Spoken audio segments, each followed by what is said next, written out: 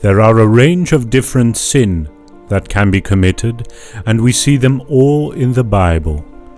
But biblically, what sin would you say the ultimate sin is?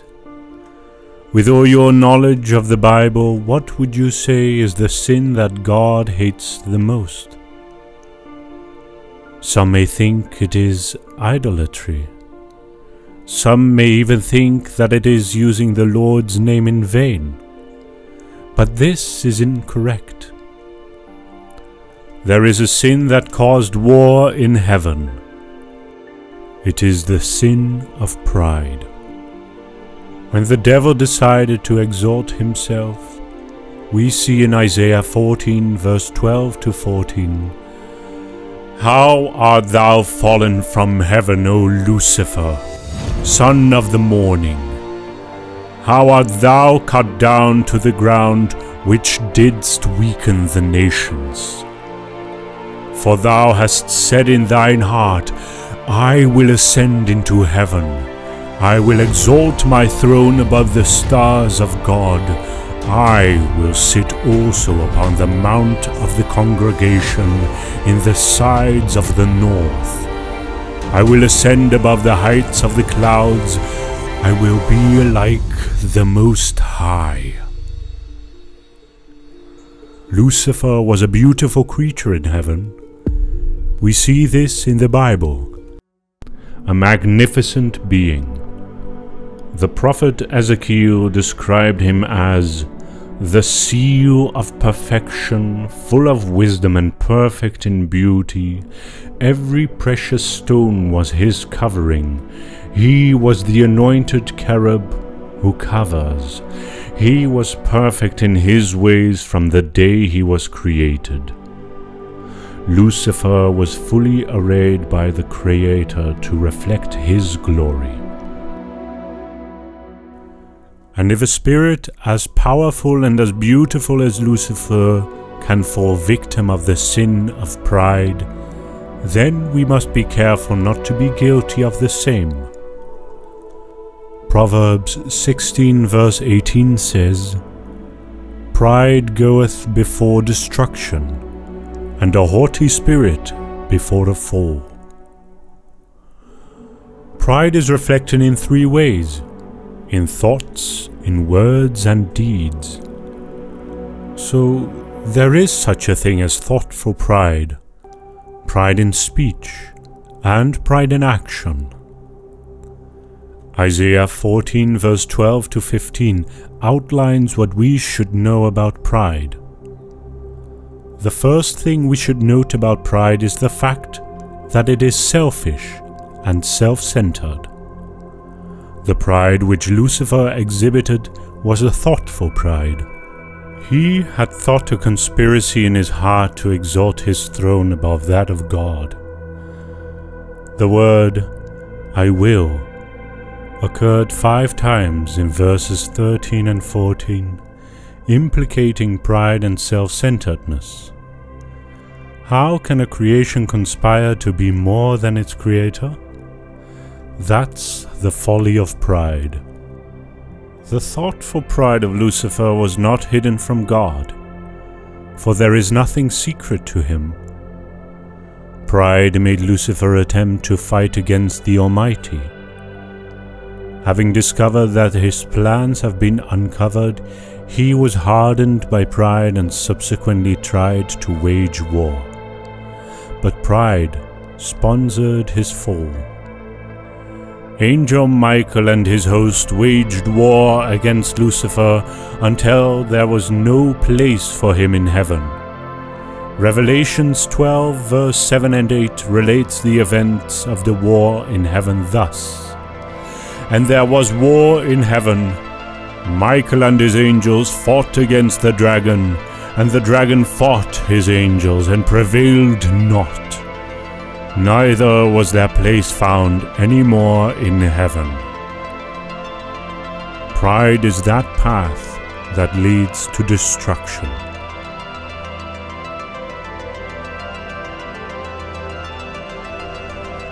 It is quite unfortunate that what caused the downfall of the devil is still leading the downfall of many today.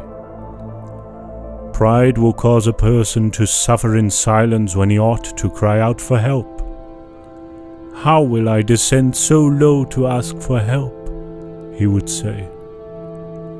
Some persons will rather live in their sins than to seek for counsel and be free. Pride has led to the breakage of several homes in our society. Husband, if you are wrong, just say sorry. Wives, if you are wrong, just say sorry. Don't let pride ruin your marriage. Your relationship and marriage is more important than pride. I'm sorry goes a long way in a relationship. A proud man will do anything possible to get a leadership position. He will continuously seek opportunities to lord it over people. If you ever find anyone who is always right in his own eyes and does not take to correction, such a person is filled with pride. No one on earth is always right. Now I want to talk to you about something that shows pride in a child of God's life. A lot of people don't even know that this is a sign that pride is in their life. What I am talking about is prayerlessness. Lack of prayer is a sign that shows pride is running rampant in your life. The Bible says in 2 Chronicles 7 verse 14, If my people, which are called by my name, shall humble themselves and pray, and seek my face, and turn from their wicked ways, then will I hear from heaven, and will forgive their sin, and will heal their land. Now focus on this phrase shall humble themselves and pray and seek my face. It takes humility to totally depend on God through prayer. When we wake up and go about our day without praying to God, it could mean we can handle the matters of the day without the help of God. We put God to the side and say, Don't worry, God, I have this day covered. I am the captain of my own ship, and I will order my day today. We do not know what life may throw at us that day, and it takes the grace of God to victoriously go through each day. From this verse, we see that one of the things that was restricting the people of God from praying and seeking His face was pride. Sometimes our flesh wants to do things by itself without God's help. It takes humility to ask for God's grace to perform tasks that we might be very skilled in doing. It might seem silly, but let's think about it. Learned skills such as writing reside in our memories. Without the proper functioning of a person's memory, it is impossible to demonstrate this skill. It's all by the grace of God. There is something very serious about prayerlessness. The link between prayerlessness and pride is undeniable.